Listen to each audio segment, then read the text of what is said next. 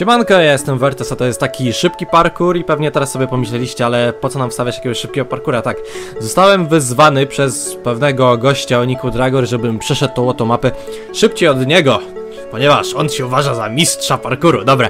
Także postanowiłem tą mapę przejść, yy, z takim wyjątkiem, że wstawiam wam tutaj pierwszą udaną próbę przejścia tej mapki, czyli wiecie, bez żadnego spadnięcia w dół itp. itd. Jakoś zbytnio nie starałem się, wiecie, jak najszybciej to zrobić, czyli pobijać swoje własne czasy po 20 razy, żeby jak najszybszy wynik uzyskać. Tylko po prostu postanowiłem, że jak mi się uda przejść, to wstawiam.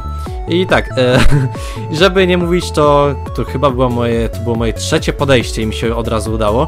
Wiecie, pierwsze to takie mniej więcej ogarnięcie mapki, w drugim sobie gdzieś tam spadłem, bo mi się sprint wyłączył. No i dobra, i mamy tutaj efekt tego.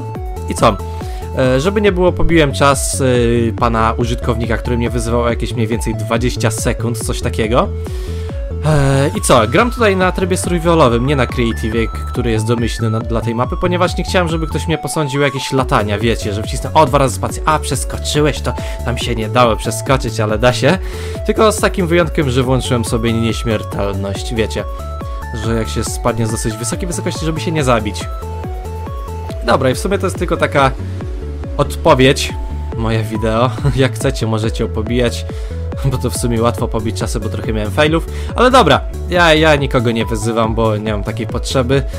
I dobra, to by było na tyle ode mnie.